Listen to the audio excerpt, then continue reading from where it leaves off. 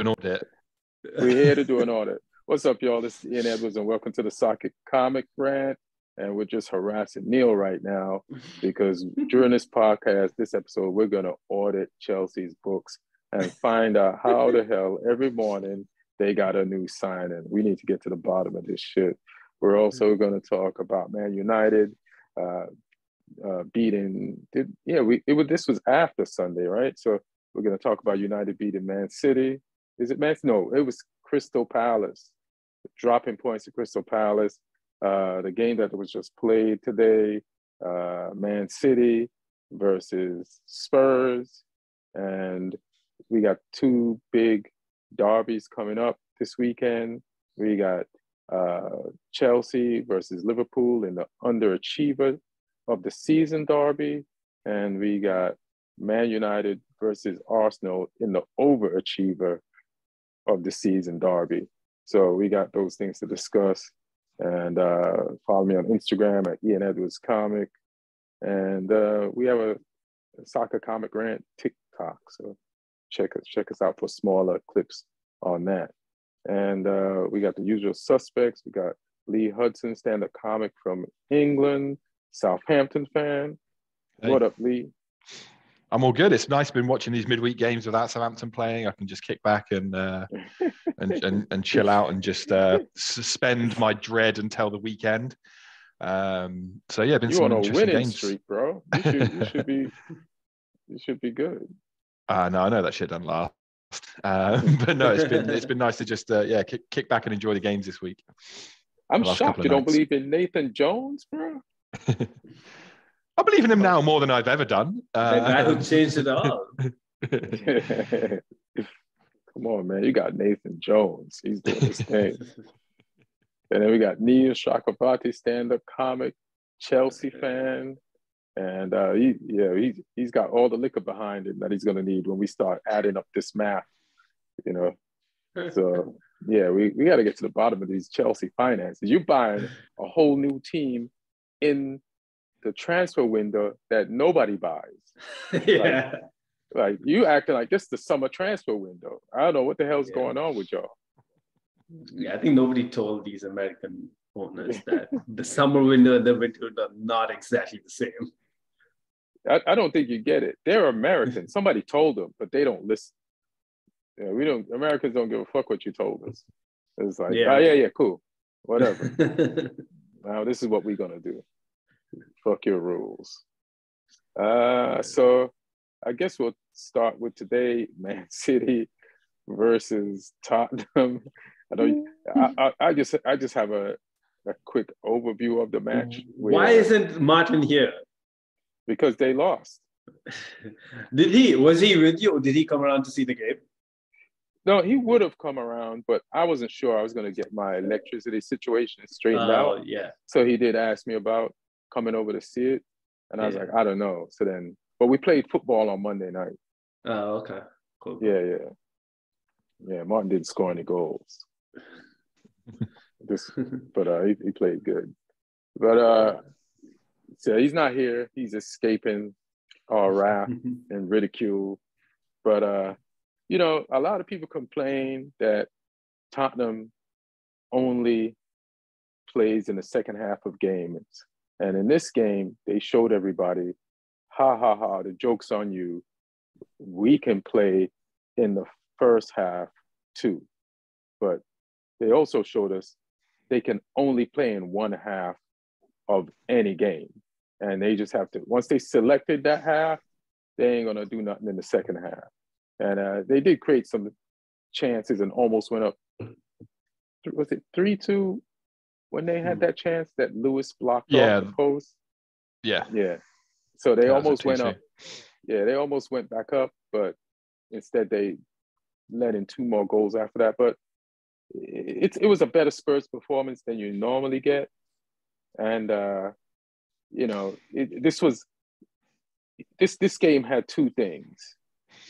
You got to see what it would be like if Man City lost the game, and you got to see what it's like when Man City eventually won the game all in the same game. Because going down two nothing to Spurs, which is like basically Man City's bogey team, Like it, it doesn't matter who's been from Pochettino to I think when uh what's his name from Wolves started coaching. Nuno, Nuno, he his first Nuno game was one 0 one 0 at home. Yeah, one, yeah, one 0 at home. So so and then Champions League with Pochettino and league. So it's definitely been uh their Man City's bogey team. So Tottenham, despite the fact that they were on the road, had a good chance to win this, and they started the game like they believed, oh, this is the team that we can kill. We can giant kill this team. But the most telling thing to me about this game was Pep's words after, you know, and Pep was like, uh, he criticized his team. And he said they don't have the fire and desire. They act like a team that's won multiple titles. And it's he's admitting all the things he would never admit when they lose. So he's a smart manager. When they lose, he mm. praises them in the media, and then they win a big game, and he criticizes them. So he, he's smart. Like like when they lose, he'll say some weird shit like we don't care about the league or something like that. Anything that just comes out of his mouth real fast. But then they, they win and he says all the things he wanted to say about his team when they lost. But I think he does realize that there is a lack of desire. That is the thing that's kind of missing. Even though he added some new pieces that you always add when you're a long time manager, try to keep the fire of the team going, add some new coals. Like it, last year added Grealish and this year added Haaland and Alvarez, but it's still, you know, the engine of the team is kind of slowing down. And uh, but I think one of the things that made him say what he said mostly at the end of this game is because that fire, he sees it in Arsenal. Like that, like what you see Arsenal doing, like going through teams like a plague of locusts, when they hit the field and just destroying everybody. Like from the moment Arsenal hits the field, you know they're the best team on the field until the whistle blows in each half. And you're like, yeah, they won that game. And there was no chance the other team had. The only difficulty they had was against Newcastle and probably nine games ago against us. So maybe it was more, I can't remember. But uh like in the Premier League, Arsenal is just mm-hmm. their, their, mentality. And it, and I think he knows, Pep knows he has to get his team to that Arsenal mentality to even catch them and to pass them and to stay past them. But it's still early.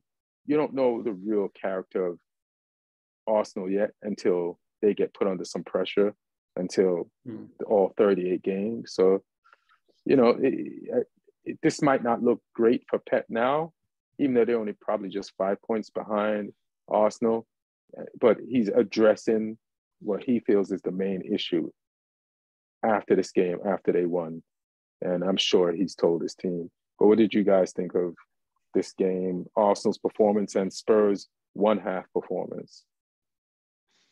Um, I mean, yeah, like we're saying, it's quite ironic that you know Spurs flipped the half that they uh, that they showed up in. Um, but I mean, the first half was sort of even-ish. Like you know, Spurs obviously trying to get at them at times, which was a bit more positive. Like the goal, they the first goal they scored was pressing City playing out high up in their mm-hmm. box, mm. and they committed a lot of players to that press. And I think it's almost like City just got a little bit slack there because like Ederson, the ball he played in to Rodri was quite loose. Rodri tried to play it around the corner, but there was no one there. It was another Spurs player.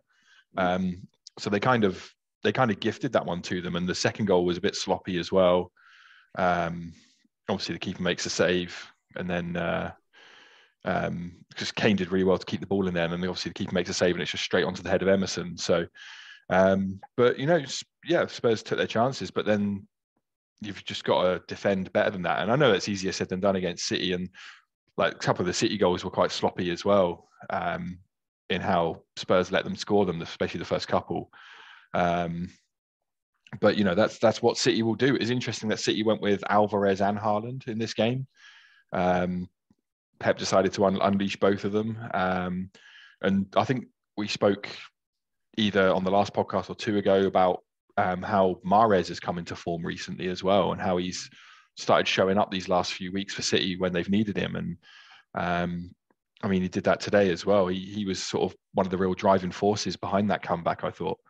Um, mm-hmm. So that's interesting to see. And and yeah, I mean, it keeps the title race interesting. It doesn't allow Arsenal to pull too clear. I, I had some some weird conversations going on tonight with friends who are Arsenal fans who are cheering for Spurs.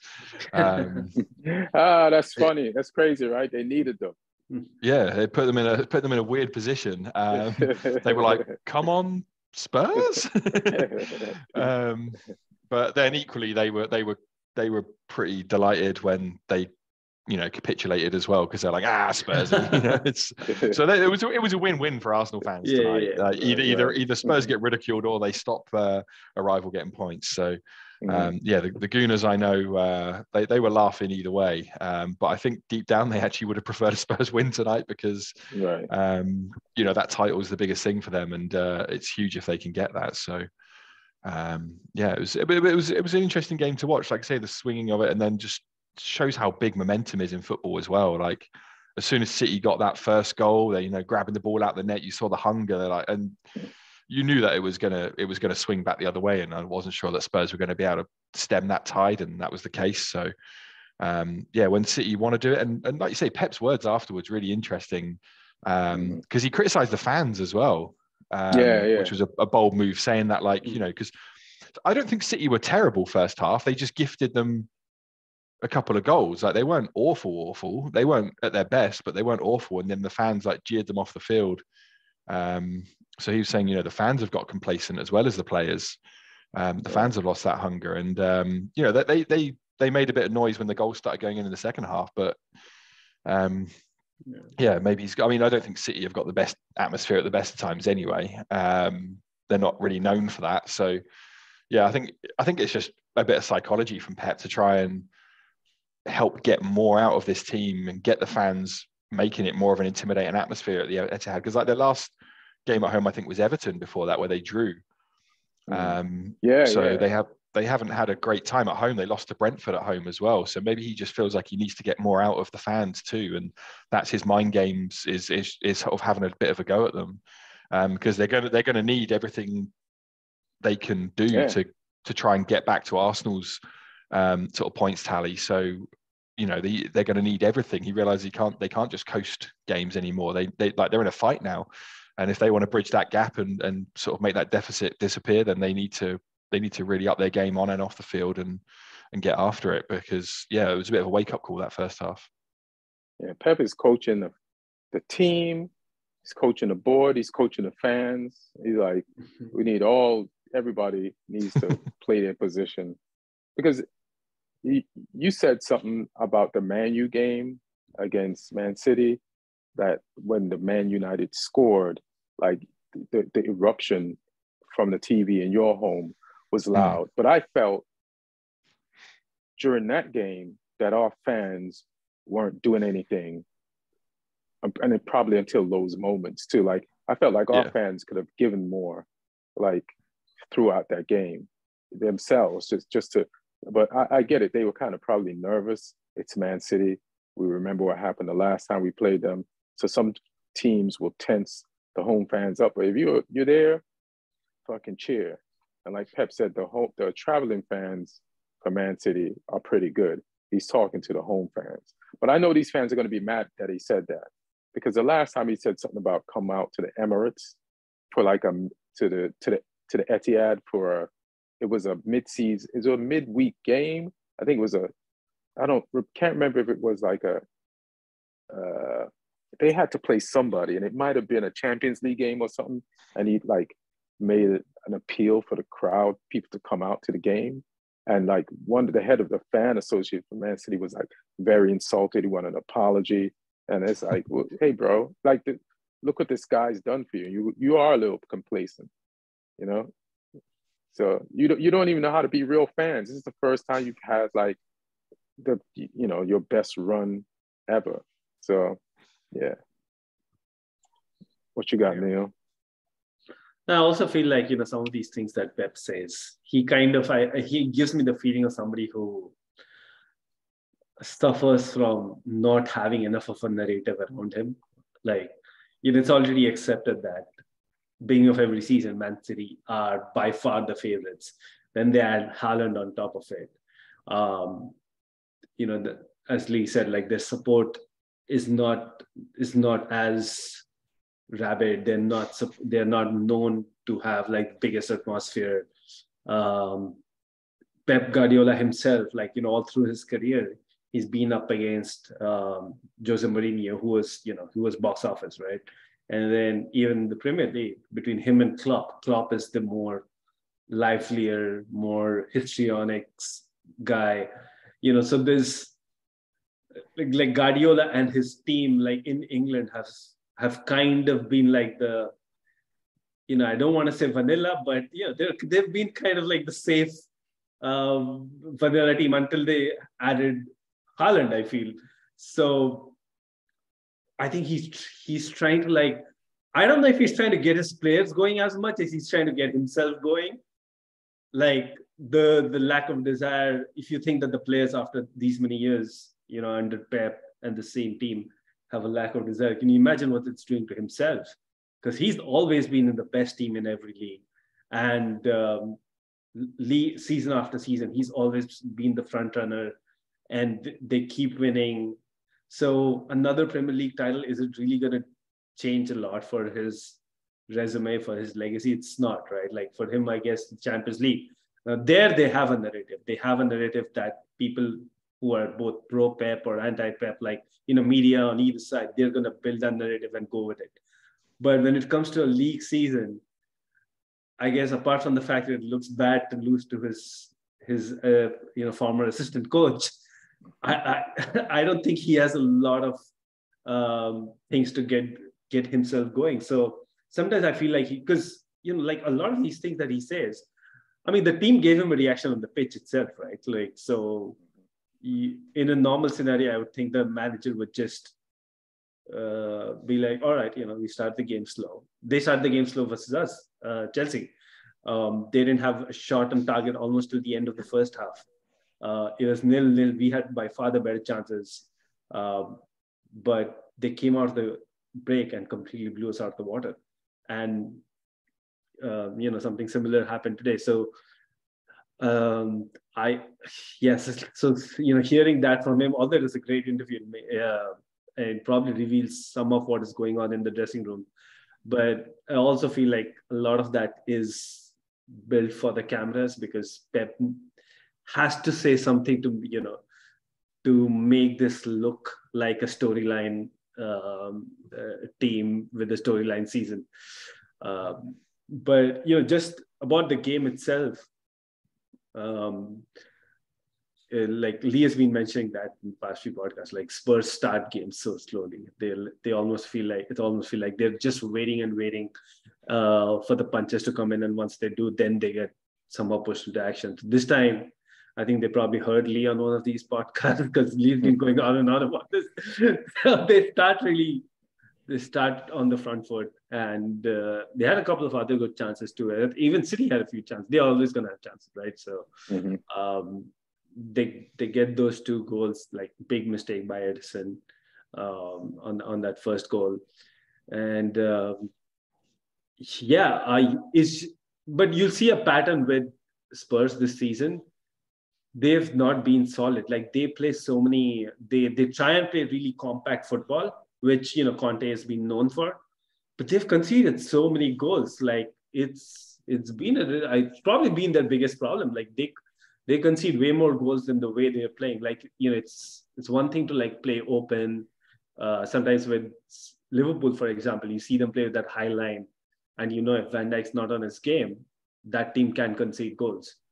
But um, just to just to uh, back you up on that, Neil. So goals against yeah. Uh, for the teams up the top. Arsenal have conceded. So most teams have played 18, 19, or in Tottenham's case, 20 games. Arsenal have conceded 14, City 20, United 22, Newcastle 11, mm-hmm. Spurs 31. Yeah. Like Fulham have only conceded 29, Brighton 25, Brentford 28, Liverpool 25, Chelsea 21. Like Spurs have conceded 10 more goals than Chelsea. Um, like yeah, it's, I think, I think except for the bottom five, I think they they must be just above that bottom five in terms of yeah goals conceded. Yeah, it's it's not looking good for them there. Yeah, everybody scored on them. Like any team that they've played, they've had to come back. Even when they get the whole three points, if it's against a lower table team, they've had to come back to beat that lower table team. Like, because yeah. we're talking when you say we have let in 22 goals and City 20, like we've been blown out. We've been blown out by them. And yeah. City has only let in two more goals than us. You would figure Spurs would have yeah. have been less, but yeah. like I, you know, but yeah. So this defensive team that Conte is constructing to counterattack, it's not working. Yeah, I mean, if you needed a, any bigger proof, because everybody keeps talking about that, like Conte and Spurs. This was a marriage that you know it didn't make sense at the beginning. I guess they've had good spells, but is it really going to work out in the long run? Of course, there is no long run when it comes to Conte and his managerial stints, right? But at least like get to a spot where you feel accomplished with what you've done. The biggest proof that it's not working is that Antonio Conte is not able to make the team make a team that doesn't concede goals. Like that has never happened in his career. Like even in the second uh, season at Chelsea, where things were going really bad, we still only I think conceded less than a goal a, a game. Mm. Um, so it's the foundation that he builds his teams on, isn't it? Right, exactly. Spurs ain't got no foundation. The defense yeah. is, you know what? At the end of the day, when you look at these players, you might be like, Conte did a great job considering what he has back there. and at the, mm. his post games uh, press conference, he intimated he wasn't. It was funny. Pep was angry after he won. Conte was laughing and happy after he lost. It's a, a contrast of like, I'm like, did, did they know who won this game? These two coaches who coached the same game. It was kind of that weird thing. And Conte was like, kind of happy with the team's performance in some aspects or in a lot of aspects. But uh, the thing that he said that I'm trying to remember that he said he like the the person asked him the question tried to lead him towards that normal direction that Conte goes when it comes to the board to, with the board. and and instead of saying we need to spend money and buy players, Conte said that's a question for the board.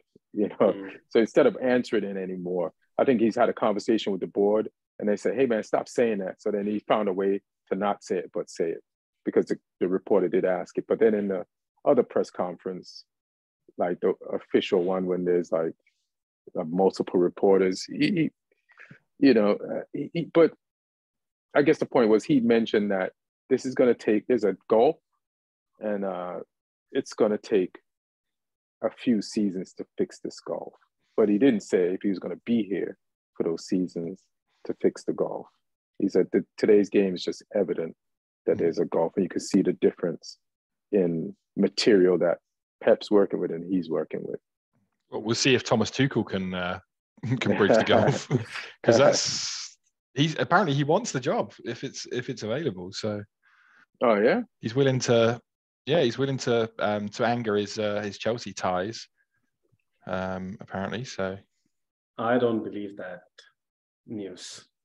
I, I know, I know. It's, you, you, it's, you don't, don't believe, it, or don't don't, don't want to believe it. yeah, yeah, yeah. It's probably a bit of both. Oh. Yeah, it's probably a bit of both, but yeah, he's probably was, angry enough at Todd Boehly to do that. Yeah, probably. But no, I'm not talking about it from the whole Chelsea versus Tottenham point of view. I just feel it's a lesser job for him. I feel his next job is probably managing Real Madrid or Barcelona. Well, you know, anger is an amazing thing, Lee. Neil, right? He, he's pretty angry at the way. He, there's no way he's happy with the way Todd Boehly treated. Him. Oh, him. absolutely. So but I also feel like he's a he's also a pretty pragmatic guy. I, I don't think he's the kind of guy who's gonna you know cut his nose just by his face. Yeah, I mean, if Spurs would spend money, I would say he should would take that job, but he's, he's going to be limited, and it's going to the type of limits yeah. that won't give you what, the satisfaction of like actually getting over a hill and winning something. Yeah. Uh, as, as far as Man City playing today, there was more movement overall, and some of the things that they didn't do in the game in the derby against us, they did today. Like they took the chance. But Man City love to hold on to the ball. They love to hold on to the ball more than they like to put it in the back of the net. And today they took chances to lose the ball to see if they could get it in the back of the net. And uh, you know, they saw Haaland's run, so he just wasn't out there just going, "Yo, he made the runs. They chipped some balls over the top." It's like they they have to admit that they can't ticky tacky the ball into the goal. First of all, you don't have your players are not as good as Iniesta, Xavi, and Messi. So, as much as you don't want to play English direct football, old school football, you play mini direct football because you have the guy that you can like. If you're in the middle of the field and you see him make a run, you could chip the ball from there. And, and it's not like you're just chipping it into a space. It's like a pass. You're like you're doing the Glenn Hoddle version of what probably in, English direct football came from. Like, you know, it's like people with less ability than Glenn Hoddle, like kicking the boot in the ball forward and hoping somebody gets onto the end of it. Like you got the perfect target and you have players with skill that can put it in the area behind those defenses where he could get it. And uh, uh Courtois saved one in the first half. But uh, you know, the, the the one that Alvarez, I think, scored was like Mahrez to I think Rodrigo. Rodrigo seeing Mahrez move inside, chip chip it over. That's pretty direct. See the man moving in between defenders, chip it in the air. Mahrez heads it, and then Grealish misses his shot or it got, gets blocked, and then Alvarez takes a shot. But they they definitely like were proactive today. Like mm-hmm. I think they realize we can't just hold on to this rock. It's of no value unless it's in the back of the net. And so fourth, the fourth goal was the most was like an old school English goal. The keeper just Ederson yes. just went long, long. and he was definitely aiming for Mahrez, but it it went too straight. But then yeah. the miscontrol of Lenglet, like and Mahrez like staying laser focused and like, ah, maybe I could still get this. So yeah, exactly. Like di- direct. And that's like that's like uh what's the name of the, the Man City's goalkeeper? Like Ederson. Ederson, like, I'm not gonna make that mistake that I made in the first half where I tried to pass this to one of my defenders and gave them a goal. That we getting this out of here. I see Mahrez. I'm t- this this is so I think they learned up. This is gonna be a new Man City going forward. Like I I feel like that I, I think this this is gonna be different energy for the rest of the season. That's why Arsenal does not have this yet. Well, we'll see. And, and Mahrez, I think he's uh, spent a lot of time coming going in and out, and that's the nature of Pep's team, right? Like he rotates a lot, but I think with Sterling gone, Sane went the previous season, Grealish is still to like really, uh, mm, you know, force himself into that starting eleven. I think you're kind of seeing Mahrez take on that senior play. He's 31 now, so he's not he's not super young either. He's kind of taking on that um, senior creative uh, role and probably one of the best wingers in world football um, on form at this moment because yeah. you know it's not Salah has not been the best of form this season. Heung-min Son hasn't been. Um, you know, Neymar probably yes, uh, but you know I think Mahrez is right up there. He's really underrated too, like what for what he's done at City and that's mostly because of the fact that he doesn't play a whole lot of games. Like you'll see Mahrez play a good game and then he gets dropped, uh, gets rotated rather, and then uh, uh, but but like this season, I feel like the way he's been linking up with uh, with Haaland and Alvarez, uh, getting getting goals himself.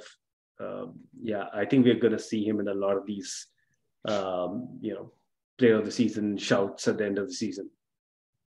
Now, one thing I was going to say, like when you just compared Mahrez and mm-hmm. Salah, I was like, why is he doing that? They're not the same position, but they are the same position. But he gets so rotated so much. Yeah, I never in my yeah. head like realized they're both right wingers. I know Salah yeah. is, yeah, but but Mahrez is like you just expect not to see him all the time, and I was like right wingers, you see them every week. But yeah, so but yeah, they're the same position. So yeah, yeah, he does get rotated a lot to the point where I didn't even realize they play the same position. What were you gonna say, Lee? No, nothing. That's it. No, nothing. Yeah. Uh, you guys want to talk about Man City? I mean, Man United, Crystal Palace a little bit before we move on to uh, what a crushing last second worldy of a free kick that just took the whole three points from us. Why are you laughing, Neil? What's so Because I think I think even as good as the free kick was, even better was the celebration or the non-celebration where Olise, he kind of like just walks back as yeah. if he given away a goal kick. That's pretty disrespectful, Absolutely right? Absolutely nonchalant. To not celebrate that and to be like, I what's the big deal? I do this all the time. Go fuck yourself, uh, Olise. 91st minute. But I, yeah. I think this is a little bit of a pattern with him because I remember an interview he did uh, where he scored a goal. I think he was just this was his debut season. And uh, so the comment the interviewer asks him, Hey, hey, so that was a really special goal, huh? So, oh, uh, can you walk me through it? Like, yeah, um, Wilf had the ball. Wilf, he's talking about Zaha. Wilf had the ball, passed it, shot, scored. That's it. And the interview tried to get more out of him. Uh, and he asked him a long question of you know whether it was a good thing for the team in the spell that he's got. And he just replied, "Yeah." So this is a man of few words, and you know, uh, looks which, like which is, celebrations. Which is weird because he's Nigerian, I think, and the reason yeah. why I know he's Nigerian yeah is because another Nigerian, AJ Faji, who's an Arsenal fan, was like bragging to me about the drop points yesterday. And he said, Olise is Nigerian. And yeah, one yeah, thing Nigerians like to do is brag. and to see a Nigerian that's actually doing something and not bragging about it, that is completely unusual. to be understated about doing something magnificent. Like another Nigerian was bragging to me about what he did. And the, the Nigerian who's bragging to me about what Olise did yesterday, he's an Arsenal fan. So I'm like, bro, bro, you you shouldn't be. I, I, I guess he, I guess yeah, I guess I guess no, it makes I, sense for him. I guess that's because he is French, Algerian, English, and Nigerian, so he can actually represent all 4 mm-hmm. countries. Yeah. Well, those other genes must be stronger it's, than his yeah, Nigerian. Got a little diluted. Yeah, it got it diluted. Yeah. But yeah, Nigerians are they're very confident from my experiences with Nigerians. Uh, yeah, I didn't see the game, so Ian, like, what what really happened? Because uh, I saw Bruno's goal, that seemed like really, you know, well taken goal. It was onside. There's no yeah. dispute. Yeah. And, yeah. uh, uh, it, it, you know, speaking of bogey team, so mm you know, Man City went to play their bogey team. You know, we this is one of our bogey teams, you know. Mm-hmm. And uh first half, we did good. We battled for everything and we got a goal out of it. Let me see exactly where this goal was going. Bruno Fernandes in the 44th minute. And uh I, I liked our setup. And uh, and we we we played Weghorst, which is the best I've ever said his name, Weghorst, and uh, you know, good coming short, receiving the ball, laying it off to other players. It's his first game. He's getting used to the whole thing. He, he's going to get more comfortable. Excuse me, and play better. Uh, I had no problem with how he pressed. I liked what he did out there, and I could see the potential. Uh, and I think Rashford just kind of had an off game. There's some opportunities towards the end where Bruno found him on a long ass ball all the way across field from the right side to the left. He controlled it and had to take several touches to bring it down, and which put the defenders back in front of him. And then he tried to take them on instead of looking for a pass. And that was an opportunity. Casemiro had one like like right at the end of the game, even after those guys scored. Like we could have got the goal to put them away, and we didn't. And Crystal Palace just played. They just went harder in the second half, harder than they were in the first half.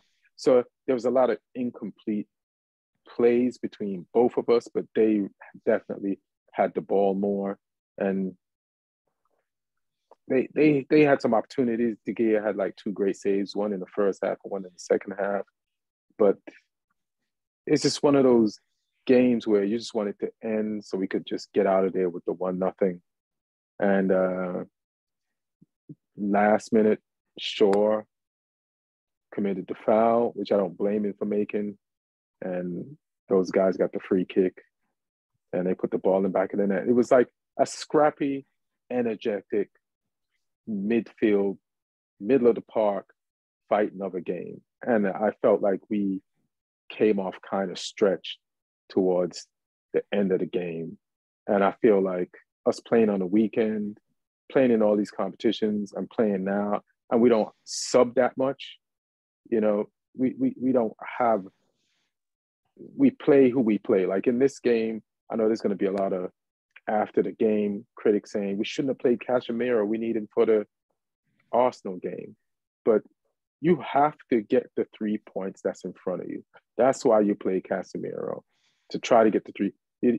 Because we don't play him now, there's no guarantee we're going to get the three points against the most informed team in the league, Arsenal, at their place. So if you can get the three from Crystal Palace and then try to get them from Arsenal after, just take care of the business ahead. So in hand, so I agree with the plan of Casemiro, and we'll have to figure out what to do this weekend against Arsenal, which we're going to get to. But listen, man, we won nine games in all competitions before this game. We didn't lose this game. It felt like a loss because when you drop all three points right at the end of the game, that is emotionally a loss, but it was mm. a tie. And again, it just, this game adds to our growth process. We're way ahead of schedule. I won't forget that. And our fans, I didn't know where we were playing because our fans were loud at this mm-hmm. game. So I want to give our fans props for that. Like, like I, I, t- I, I was in a coffee shop and I had these in, and I'm like, are those United songs? Like the whole fucking stadium sounded like our shit. So, and we, and we needed that energy.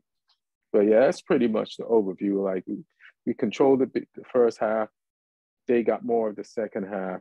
They just added just elements of desire and won some 50 50s. They wouldn't let us do what we wanted to do. And they, they made it difficult for us.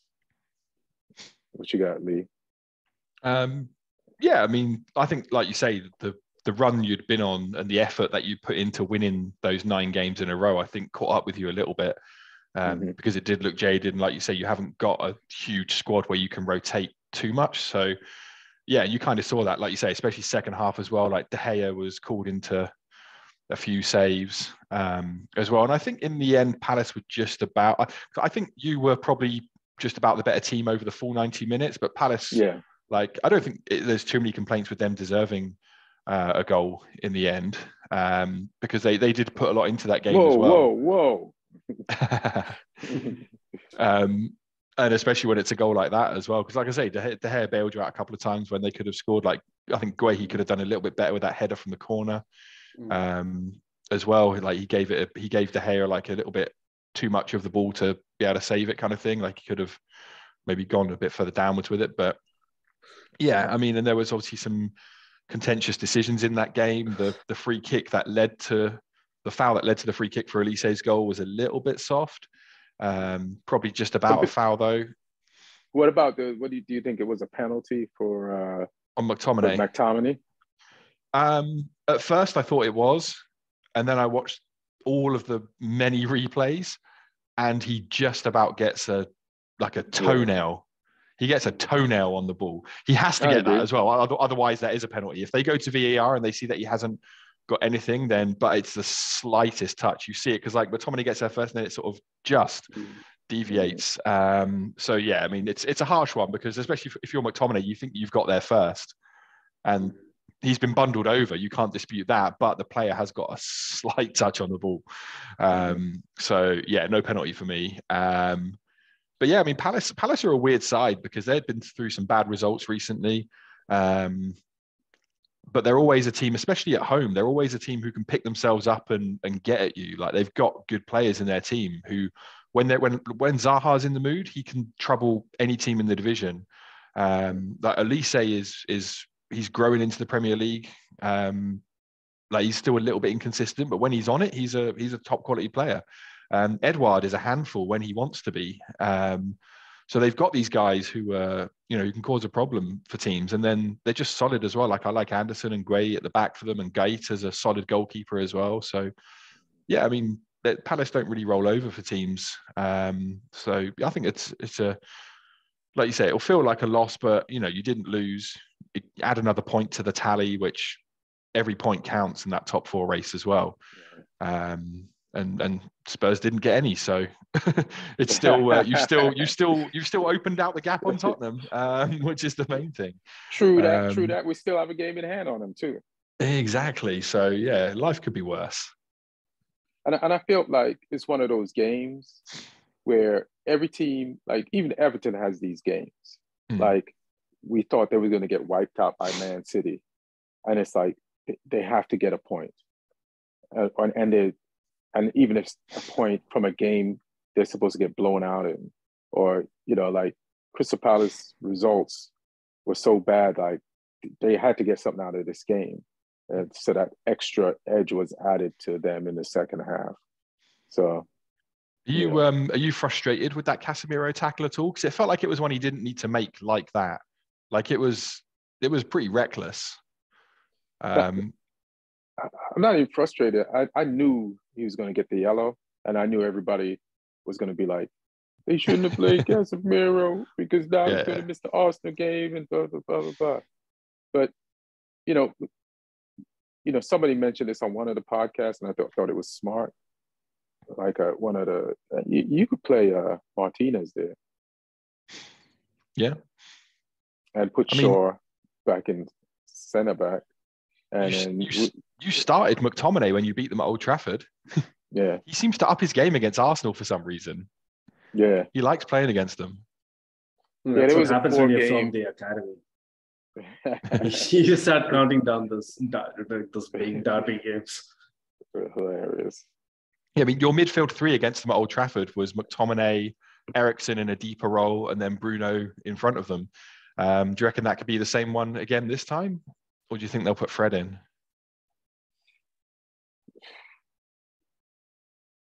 Fred can't play. Is it the six? Is it the six? Is the CDM? Yeah, six or a four depends on what country you're from, but yeah. Yeah, he can't play six because he feels he's an eight. Yeah.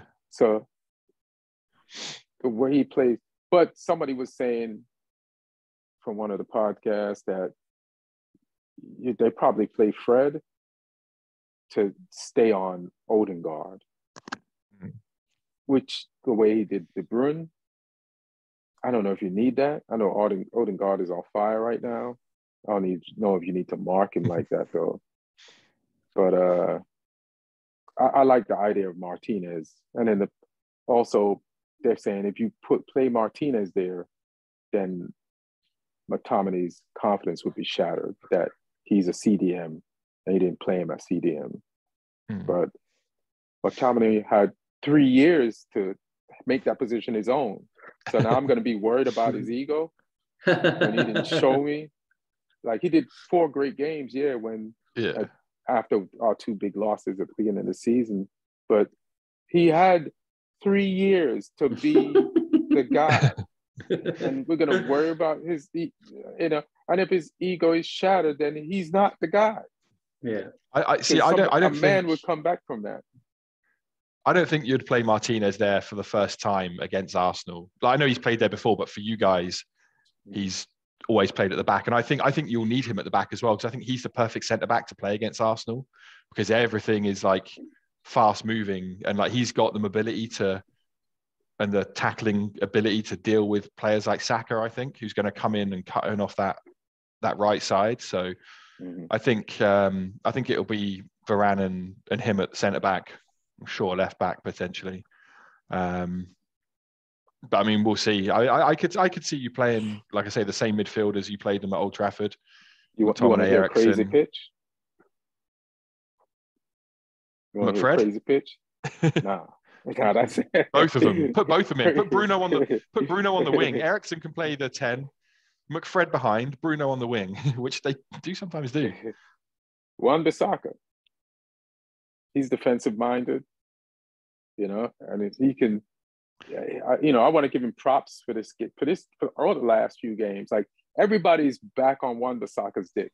Everybody that was off it is back on it. Like people was like, sell him. They wanted to like burn his house down just to make sure he could stay in Manchester. Stay in Manchester.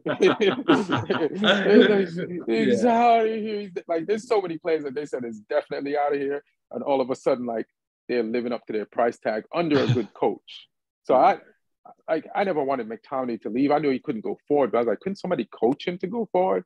And he's learning how mm-hmm. to do that now. And then we have him and Dalot. So I don't know, man. We he he can't play there. He, he's he's used to having he's used to having the game that side of him and the touchline there. He can't play through. I, he'll I reckon he'd lose his mind playing with 360 around him. Like it's such a specialized, specific role. I mean, ask Chelsea fans; they can't find anyone to play there. Um, like it's it's such a specific role. Like you can't put a Martinez or a Wan Bissaka in there for one game. Attacking midfield. That's on them.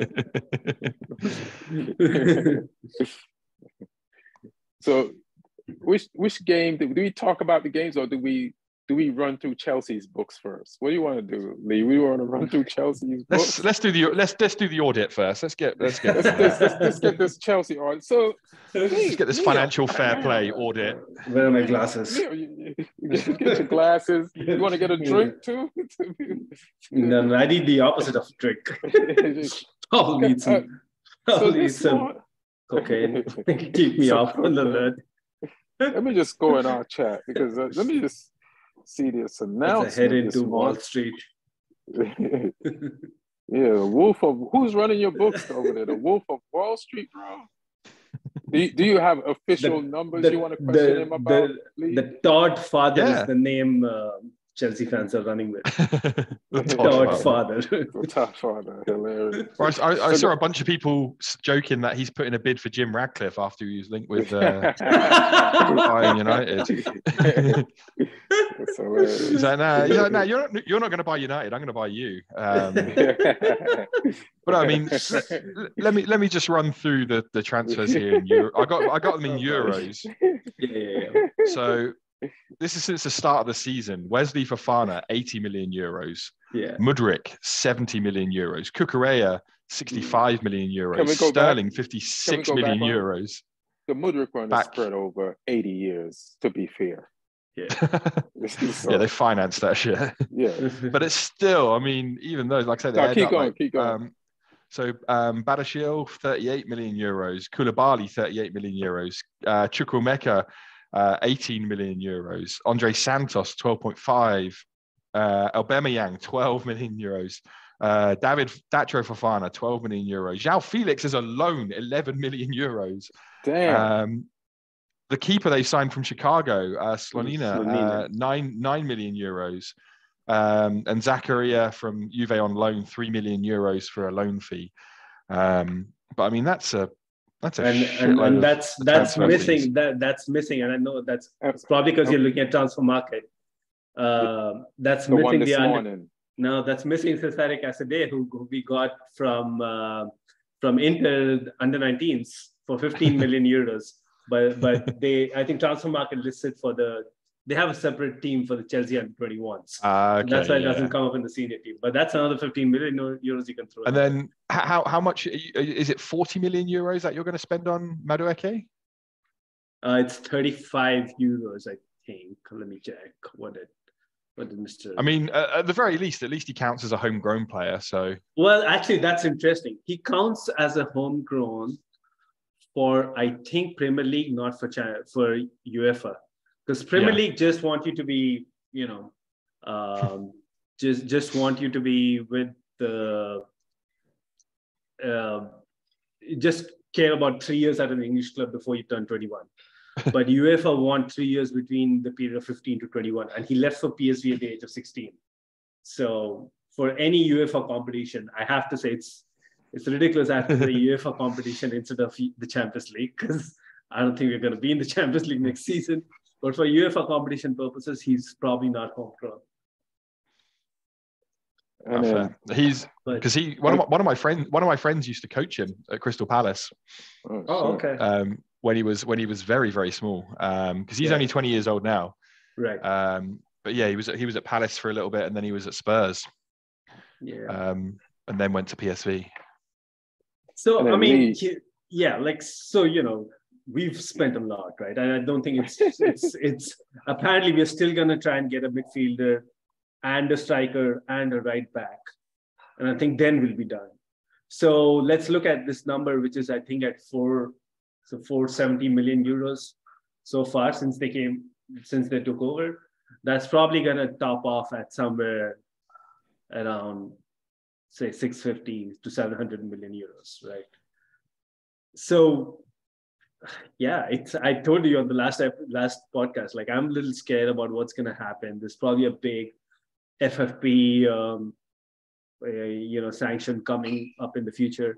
But then I read the deep dive that Swiss Ramble put up on Twitter, and uh, so from his point of view, essentially what's going on is that we've because we are um, spreading these contracts over like that's why you're seeing these huge contracts right? You're seeing eight-year contracts. So they don't count on the book right now. They they only count like for example Mudryk 70 million counts only like less than 10 million a year on the books right now. But every time you sell a player the full profit from that sale counts on your book for that year. So it's a little bit of accounting magic that that's happening. So they're kicking essentially what they're doing is they're kicking the can down the road right? But the only way this works is a couple of things need to happen. You still need to sell a whole bunch of players, which will happen. Uh, by my numbers, we have around 15 to 18 players, senior players, uh, to be sold. Damn. Um, Is that by, including Lukaku? yes.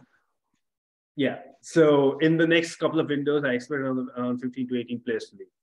Okay, so that will give you even you know, at a conservative amount, that should give you around 200 million. And the other thing that needs to happen is that because we are giving these long contracts, the margin for error right now, like you know how Chelsea used to have this. So you got Ziyech, Werner, Pulisic, Havertz. None of them can be counted as real successes at Chelsea right now. But we're kind of like moving them on. We, we're gonna let them all go. Maybe only keep Havertz from that uh, bunch the the margin of error for failures is going to be considerably low right now. So all these players that we are getting right now either need to bang for Chelsea or they need to do enough on loans to be sold at almost an equal price to, to what we've bought them for. So that's number two. That needs to happen. Number three is Champions League qualification. Champions League qualification, maybe this season, if we don't get it, we can maybe still uh, still float. But from next season, I I don't think we can do without Champions League qualification. We need to be qualified for Champions League every season. So that's kind of the way they're you know they're going about it. Um, you know they they've they've uh, they've they've obviously gone through they're, they're looking at this as um, math problem, right? Which is kind of refreshing for me. They're looking at this as an accounting problem instead of trying to think about, uh, oh, we need to get, uh, uh, we need to, you know, the previous regime, what they used to do is one out, one in. So somebody goes out, you replace just that player. They're saying, okay, we got this new manager, we got this new recruitment team. What are the profiles you needs need, and what are your top one, two, three uh, from these uh, on, on, each position, right? Now let's try and see if we can get number one, number two, number three. Uh, and if we can, we don't care. We'll figure it out. Tell me the number that we need to raise and in how much time we need to raise to do that. And we'll figure it out. And obviously, another big thing in all of this is there are, from the non playing side, there are things that will probably change. Like the stadium is getting a redevelopment. So the capacity is going to go up, the match day revenue is going to go up, uh, sponsorship. I think Roman Abramovich and his team in the last five, six years kind of were, uh, you know, they kind of fell asleep at the wheel. The, a lot of clubs have kind of gone ahead of us in terms of uh, their commercial deals. And uh, we, we need to we need to keep pace. We need to probably outpace them. So uh, he's he said in a recent interview that you know they they, they have plans to have one billion uh, pounds in revenue um, for at Chelsea, which would be insane. It'd be doubling your current revenue. Our current revenue is somewhere between 400 to 500 million a year. So, yeah, I mean, in terms of that's that's the pitch. I don't know how much of this is gonna. And as I said, like there are red flags that can easily be tripped. For example, if we don't get uh, top for this season, and then we don't get top for next season, it could be a real problem. If we fail to sell players like Lukaku, Ziyech, it'd be a real problem. So, yeah, they're they're they're walking a thin line, but uh, you know, looks like they feel confident that they'll be able to do it. I just can't wait to see what you're going to buy in the morning. That's a complete surprise from that kid. Like, like when I open the chat and see another player in a Chelsea uniform revealed by yeah. Fabrizio we, Romano, I'm just I can't even guess who that's going to be. I just yeah. know it won't be someone in the position that you need the most, a CDM. I don't know why you're buying around the position at such velocity, but hey, man, that's what y'all want to do. Like, just get a CDM, fam. They they didn't got none. What about Amrabat? Do something. Yeah, I don't know what happened. He was good in the World Cup, right? I don't know what happened, but uh, looks like we did bid for uh, Moses uh, uh, Caicedo from Brighton we also bid oh, for yeah. Bis- we also tried to get Bissouma from Spurs, and they said no, you know, no, thank you. But you know, my I I still feel if the price is going that high, we should just go get Declan Rice. If it's going beyond that 70, 80 million price uh, range, but uh, yeah, um, at least like unlike even this last window, I didn't have a lot of confidence in our transfers. But now i feel like because we have this you know this recruitment team avengers team that they've assimilated from all over the place i feel like at least from a profile point of view there should be you know uh, there should be a lot of due diligence happening on these. I mean how much did you pay for what's his name? Mur- murder murder I think it's a 70 million euros uh, base, uh, base fee plus 30 million in add-ons. What's what's the most you paid? How much you paid for Nkunku? Oh, by the way, yeah, Nkunku is not even in that list at least. Yeah, yeah. We talked about so yeah. Because he comes um, next year. He comes next year, and Season. I don't think Nkunku has been officially announced. It's just that we got a here we go from uh, Romano and people like those. So yeah, but he's probably around that 70, 80 million too. Yeah, you should just pay for Declan Rice then. Yeah. Because if you don't pay for him, you know who's going to pay for him? Arsenal. Arsenal. Because they and that's should. scary. If Declan Rice, Partey, and Odegaard, that midfield is scary. Yeah. They should because, you know, we were talking about how, like, when a team gets to the point where they need to spend that big money for that position that they need filled. Yeah. So that just to solidify all the, the rings and things. You also so, never yeah. know when Thomas Partey is ineligible to play football. So I think, yeah. I think oh, yeah. from an off the pitch point of view, it makes sense for them to get somebody else in there. Yeah. Uh, what did you guys? This what you?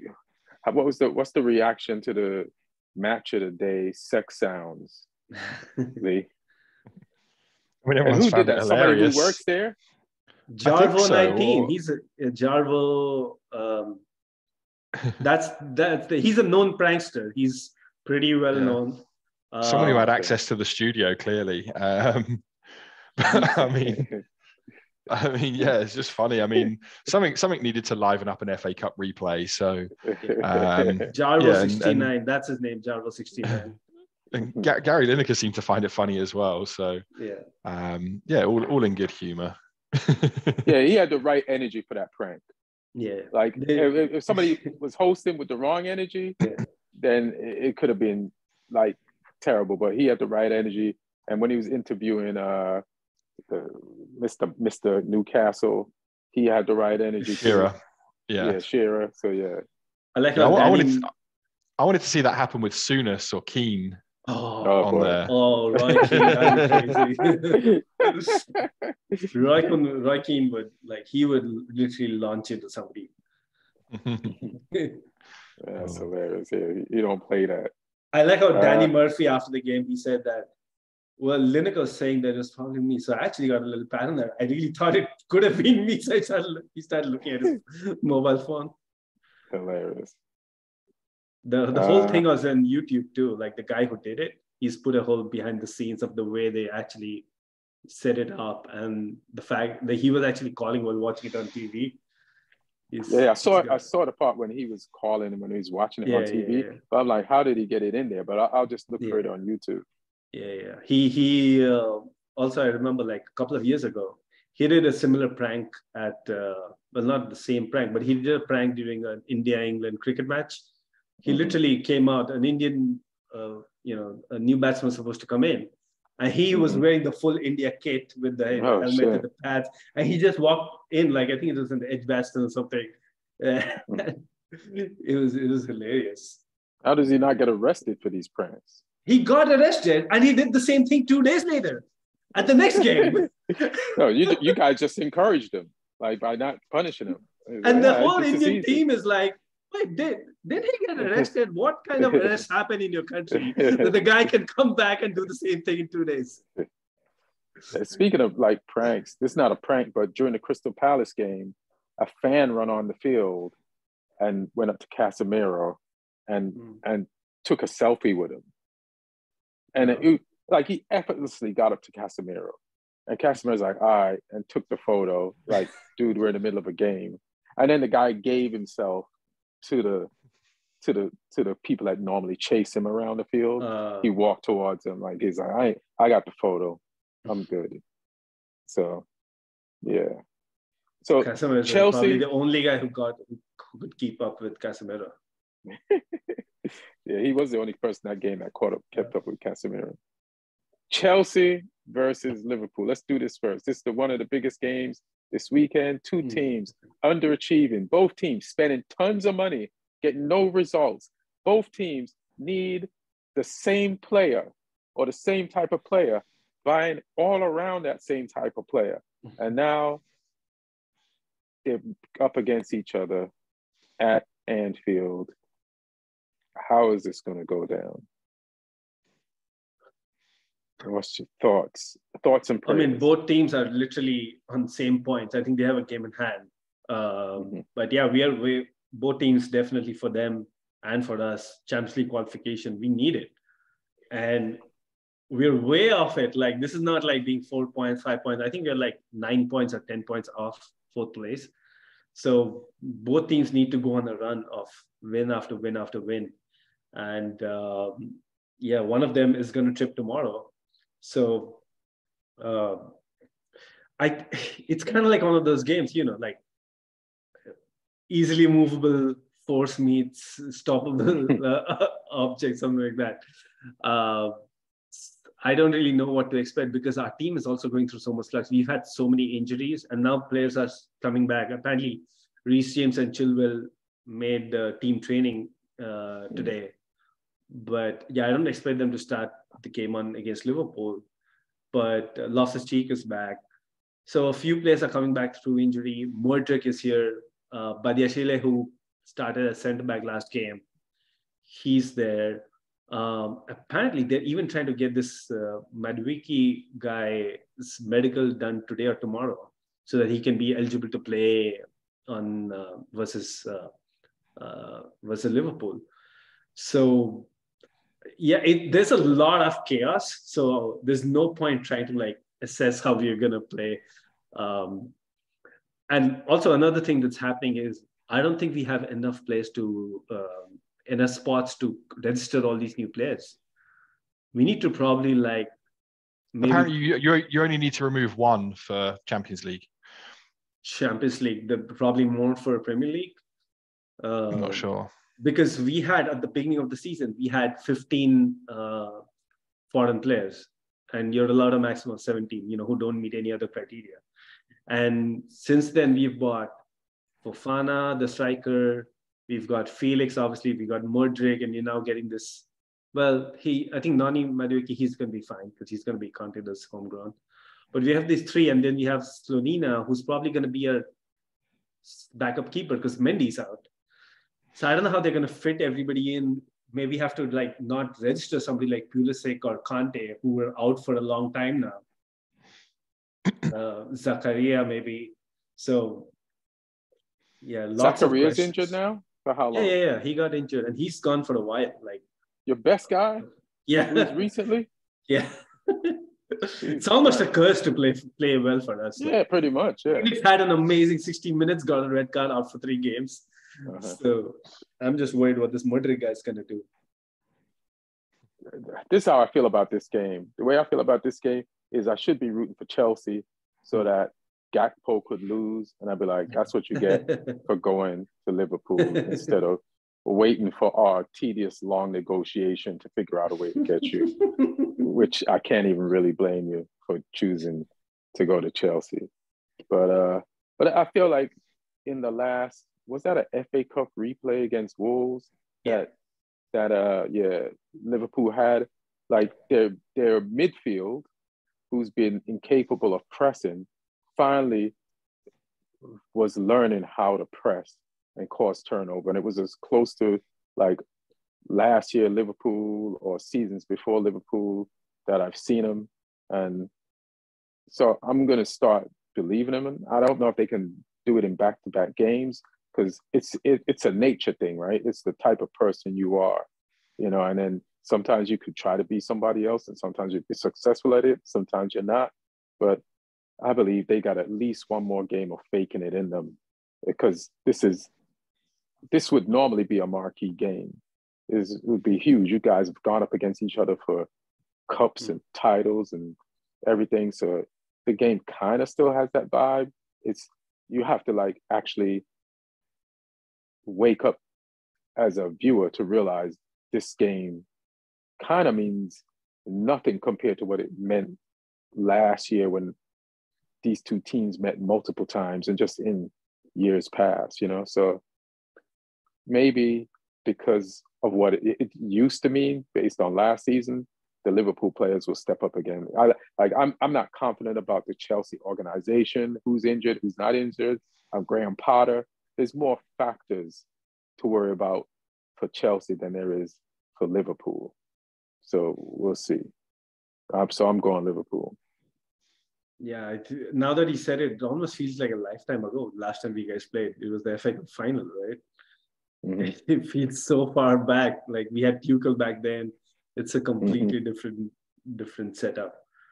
But um, yeah, I think both teams have a lot of problems, but uh, they're obviously a little more settled. So I think from an objective point of view, and one thing that Liverpool has done well this season is, despite the Nothing. fact that they've had they've had a lot of issues, but they're still among the one of the most high, uh, you know, the number of chances they create at such a high volume.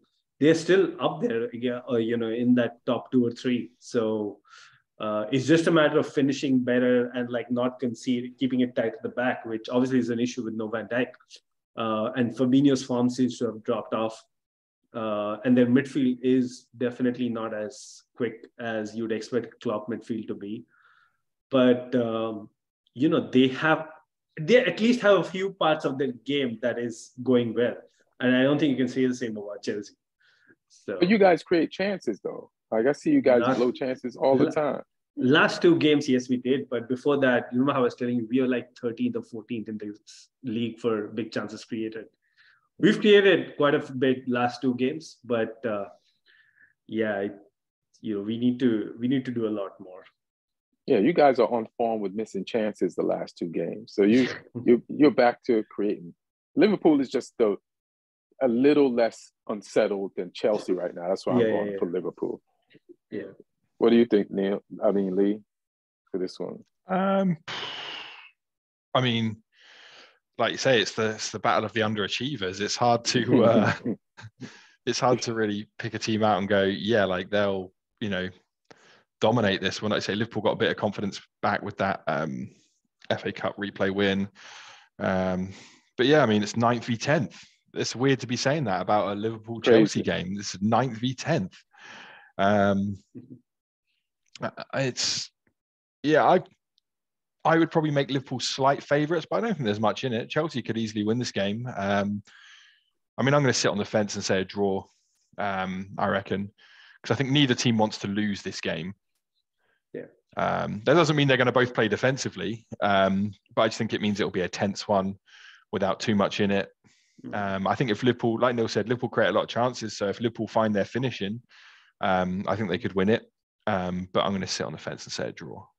I'll, I'll give them the Anfield thing too. They're at Anfield. Oh yeah. Yeah, so I don't know. Yeah, Chelsea's had some.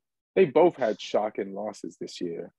Mm. You know, they, they both can surprise surprise me the way they've lost, to who they've lost to this year. So we'll see, and we'll go to the next big derby this week, and this is the overachieving derby between uh, Arsenal and Man United. You know, they, these guys used to battle it out for titles, and uh, they're both in the top four. One's number one, number one's number three. The game's being played at Arsenal's ground. So, and Arsenal, you know, didn't play midweek. They're rested.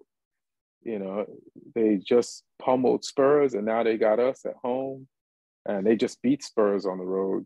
So I'm gonna, I, I feel like you know, based on some of the stuff we was talking about about the Manchester Crystal Palace game, where Manchester United is the only team in the Premier League in four competitions, and we're just playing, playing, playing. Our squad is limited. We just lost Casemiro, and we're going to the best team in the on form in the league, and they have revenge because we're their only loss for the season, and they got this beef about this goal that they scored that got taken away, and it's just like another time for them to prove themselves, and they don't want to lose the point gap that they have against City, you know. So, you know, this is a very important game for them, and they, and they just are very confident. Like even when they lost to us, they lost to us confidently. They didn't back down. They weren't in a shell, and they were trying. But we are smart, and uh, we're, we're, we're, we're street savvy. You know, we, we, we're and we have capabilities. And sometimes Ten Hag surprises me with who he puts in the lineup. And I'm like, you put that guy in the lineup? That's not going to help us. And then that person helps us. And, you know, the, the way he's improved certain players. So we have a chance. I, I, I I'm going to push it and say we get a point, but I think Arsenal wins this. I reckon I reckon a draw, but I think Arsenal will go ahead, and this time it'll be you who pull it back. The opposite of the Palace game. I think Arsenal Mm. will. I think Arsenal will score within the first half an hour of the game, and then I think you'll get them in the second half for one-one. That's my prediction for this one. All right. I like that. I like the fact that you gave us something. I appreciate that. what do you think, Neil? I think the Casemiro one is going to be a big miss for you guys. So, uh, yeah, I am going Arsenal for this game, which is which also is like a little bit of vested interest because I need Newcastle and United to start dropping points now for, Why? our, for our top four. Any hopes of getting top four? Who's who's for? Newcastle. I think Newcastle fourth, you're third. So, but you guys Yeah, are both on similar uh, number of points. Eh, you, you should be trying to hope Newcastle slows down. Hey, hey, leave us alone. More, more, more frogs in the well, the better. Pull everybody down. That that means as pessimistic as Neil is, that means he feels like Chelsea could still pull off something and get back into the top four. You see that? You see how he pretends to, to not believe in his team? But that statement alone lets me know what you're really thinking deep down. Not even so deep down that you This feel is- like this is not this over. is There's 20 games. This, this, is, this is what three points versus Crystal Palace does to you. What Neil, what Neil needs to be doing is rooting for us against Aston Villa because Villa are only three points behind Chelsea, and if Oh uh, and if, yes, if that's what you Liverpool if, if, if Liverpool beat Chelsea but Villa beat Southampton, then Villa Oh, can uh, oh, Villa can get up there. Villa can get up there. I mean, yeah. they're, they're probably not going to overtake you on goal difference, but they'll pull level with you. yeah, yeah, we've- they crawl up your pants leg if they beat Southampton. So you better. yeah, I think I think our goal difference is is like zero or plus one. Somewhere, One, some, yeah. yeah. Villa, Villa's minus five though, so they ain't going to jump you, but they could come level on points. Lee, Lee, you got to be careful against this Villa team, man. Yeah, I mean, Uh, at least we know Danny Ings isn't going to score against us. Um, oh yeah. he, he looks like he's on his way to West Ham. Um, oh yeah. our, um, yeah. uh, apparently that's almost done. Um, it's a shame. I, I would have liked us to go back in for him because obviously he knows the club. Um, a lot of the same players are still there, and he's a he's a proven goal scorer when he's fit. And apparently it's only 15 million the West Ham are getting him for. And you know, he's like I say, he's a proven Premier League goal scorer. Um, his injury proneness would be a worry. I mean, I think for West Ham, between him and Michail Antonio, they'd get one full player um, Yeah. because Antonio's always injured as well. Is, is Scamacca injured for West Ham or something? No, he's he, he's pretty consistent for them, to be fair. Um, but I mean, they need all the firepower they can get because they're right down in that fight with us at the moment, same amount of points. So, um, but yeah, I mean, Villa. I mean, our kids played them in the FA Youth Cup um, at Villa Park during the week, and we beat them four one. So you know, if the senior team can just if they can just emulate that result, I'll be pretty happy. Um, but you know, I'll take a I'll take a shitty one 0 if we need to. Um, but yeah, we just we need something from this game just to keep the momentum going and keep the confidence going because I never know with this team at the moment if one loss will just put us back to rock bottom confidence. So um, hopefully we can keep it going. You know, the new signings are getting some minutes now. Um, Orsic came on against Man City. Alcaraz came on against Everton. Um, apparently, we, we've been linked with about 20 strikers this week as well. Um, Oh, all of them from like different middling sort of clubs across Europe. Um, there's one of them who scored for the USA against um, uh, Netherlands at the World Cup, Haji Wright. Um, I know Haji. he's a centre forward playing in Turkey. Um, so he's been linked with us. Um, the one that we're apparently closest to is a guy called Nicolas Jackson. Um, he's like a Senegalese forward. He plays for Villarreal. Um, but my view is if he was any good, then Emery would have gone back for him. Why don't you try to get Aboubakar? He's going to Besiktas. Oh yeah, he's replacing Weghorst. Veghorst, yeah. They they because Yeah. Besiktas wouldn't let Veghorst go until they knew Oh, they were getting a replacement. Apparently that deal was being done. He used to play in Turkey for Fenerbahce as well, Aboubakar. Oh, okay. So he's going somewhere familiar. Um, but no, we've been linked with a whole bunch of guys. There's a guy at, um, at Ghent in Belgium um, who seems decent, a 28 year old forward who's scored quite a few goals and our Danish director of football knows because he had him at a club previously. So yeah, we're being linked with some. We need we need a striker, I think, to come in and, and boost the ranks. A striker and a CDM would be would be perfect if we can get them. But um, you know, we said before it's a tough one, tough window to buy players. We bid for the the Danish guy who's the captain of Lecce um, in Italy, and we've had that knocked back. They want like double what we've asked for or what we offered. So Sure. um, we'll see what goes on. But yeah, it'll be an interesting month to see if we can get those reinforcements. But I mean, anything against Villa will be a bonus, a draw or win. Let's keep getting those points on the board, keep the confidence up, don't lose the game, and hope hopefully West Ham and Everton destroy each other. And if that one could finish a draw, that would be nice. A draw and a bunch of red cards each. Hilarious. You need to buy people with experience. And Yeah. like one dis one disadvantage Southampton has for themselves is that they're in the Premier League, but one advantage that they have for them is that they're in the Premier League. So you Hmm. can get somebody from a really good team in a different league to Southampton because it's in the Premier League. Yeah. And I, and I, and I, I like I think you got enough young, inexperienced players for the future. And I, I I think you just need to like really put some definitive class in your ranks to like Yeah, keep you up. Hundred percent. I mean, I- I- that's that's what that's what we did with Orsic. He's thirty, uh, which was a complete, you know, um, change in our policy to get a player like that in. And and yeah, we need one or two more of those because we can't have Mhm. um, we can't have people that are too green coming in and, and being chucked into a Premier League relegation battle because that's a very specific type of uh, type of fight. Yeah, it's like then they're gonna be in the championship and they have to sell them anyway. It's like you, you gotta, yeah, you gotta. Yeah, I feel like there's something big you guys can pull off just because you're a Premier League team. You know, like like Weghorst, when he first came to Premier League, he went to Burnley, and you know that was a good buy for Burnley. It didn't work out, you know, because mm. of Burnley. But that that was a good buy. There's got to be something you can pull off, you know. We should have gone for Suarez. I mean, he went to Gremio in in Brazil and he scored a hat trick in the first half of his debut um, the other night. Yes, yeah, something like that. Shit, what's his name? He's going to Sergio Aguero is going to Ecuador to play. Like, where's Cavani? I guess he is with somebody, but like he's a Valencia, I think. Yeah, it's got to be something. yeah, who knows? Um, but yeah, I'm happy with the business we've done so far. But yeah, a couple more, a couple more is definitely needed. But that West Ham Everton game is going to be really interesting because I think if, if if one of them loses and loses without putting up much of a fight, that manager's getting sacked whichever one of them it is. If it's Everton losing, I think Lampard's gone. If if West Ham lose, then Moyes mm-hmm. is gone. And then as soon fire. as Lampard gets sacked, he can go to Everton. That's hilarious. I wouldn't fire West Ham uh, Moyes. I think I don't know what's happening to West Ham. Are they in Europe? Um, because because of the sure. Christmas break and uh and uh the the the Europe break because of the World mm. Cup. I forgot who's in what competition.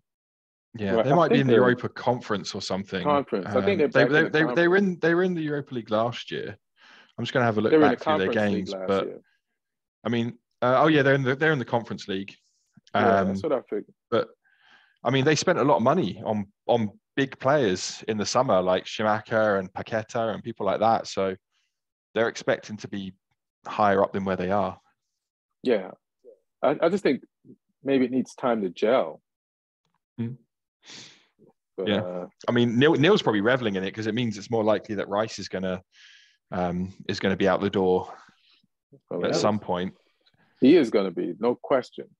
Whether he goes to Chelsea is another thing, but yeah, I'd hate to see what, Rice on another football club, uh, like a top what, club, but you know.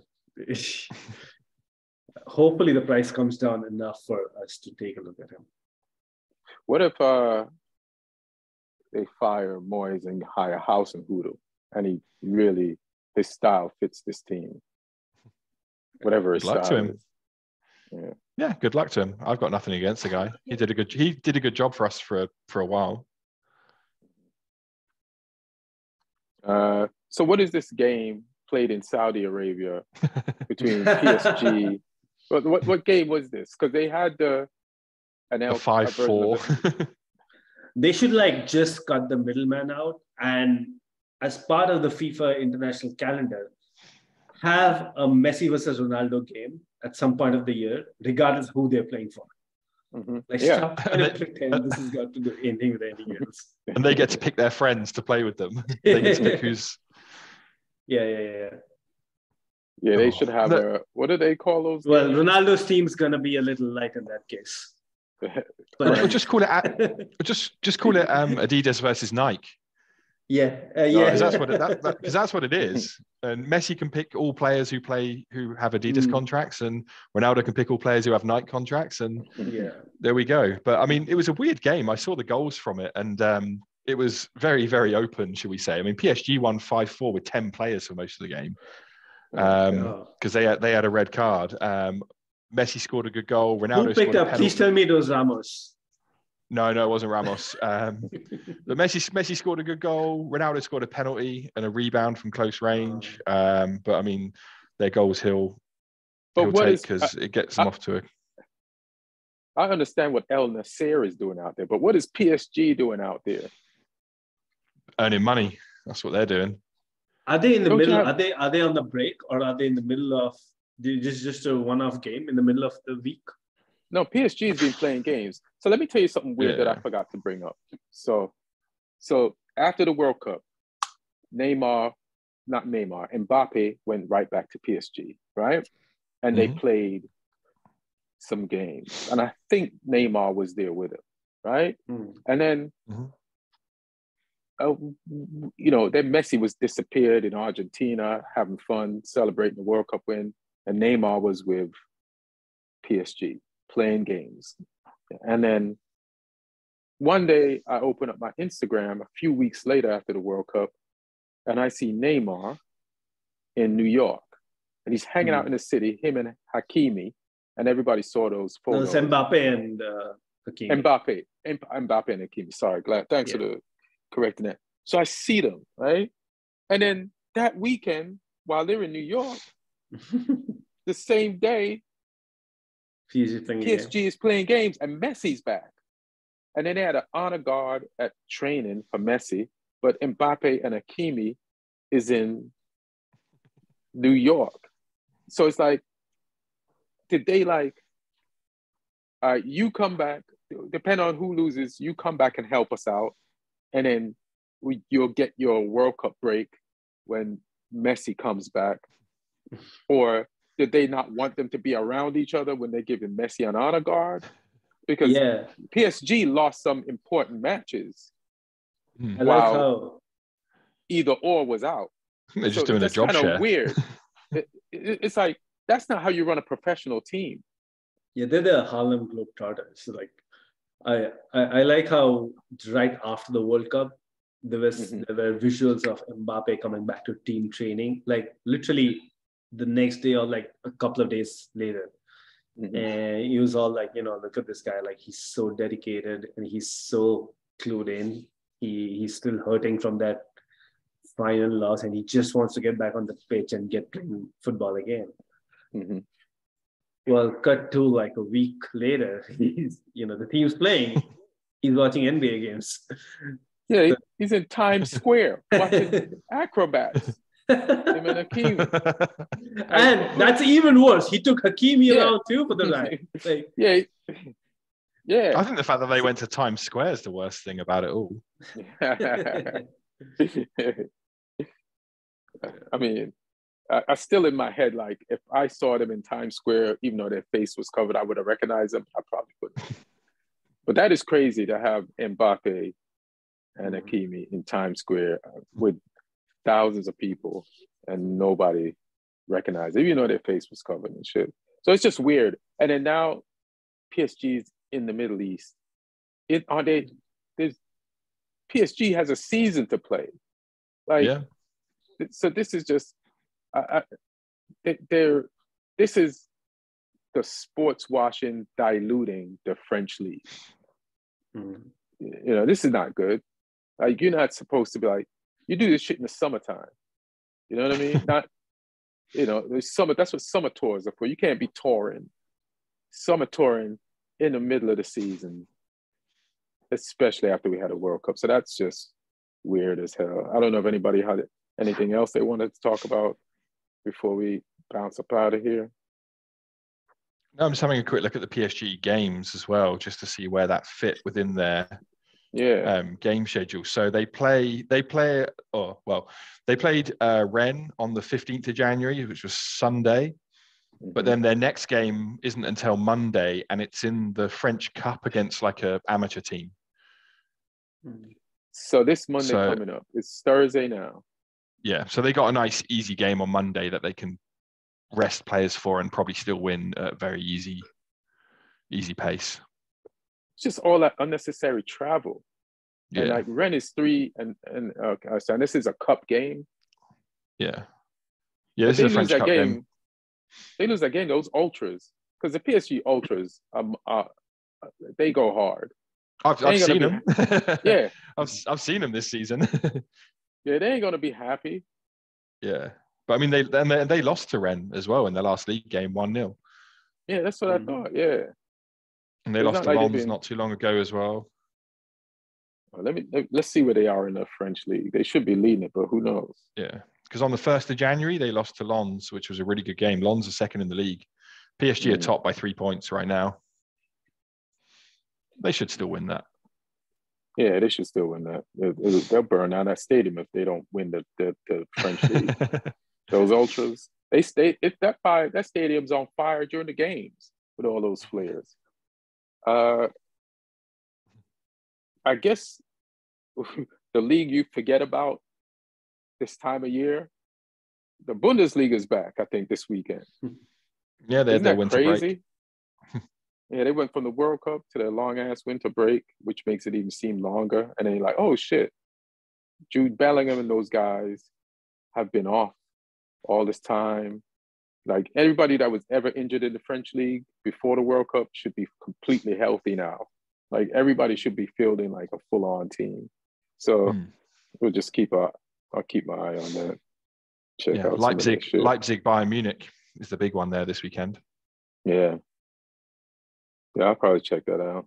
Even though I feel like there's not, not nobody at Leipzig anymore that I'd like to see. Like, you know, I guess they got is Werner back there?